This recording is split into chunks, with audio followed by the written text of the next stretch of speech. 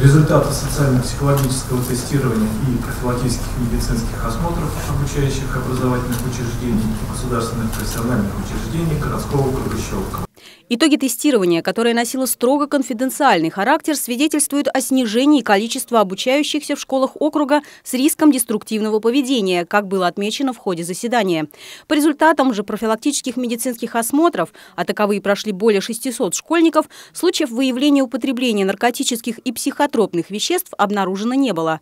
На комиссии уделили внимание вопросам профилактики употребления запрещенных веществ среди детей и подростков, отметив важность привлечения школьников и студентов студентов к занятиям спортом, трудоустройству молодежи в период каникул.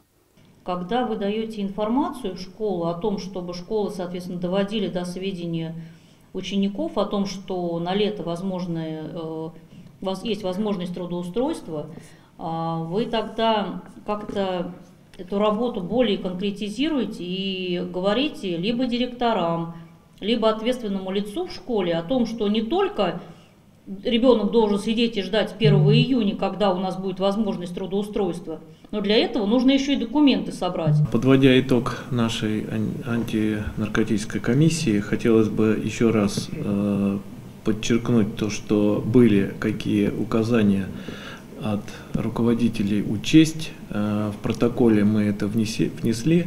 Спасибо большое за проделанную работу. Реально работа проводится у нас на постоянной основе. Я сам лично выезжаю.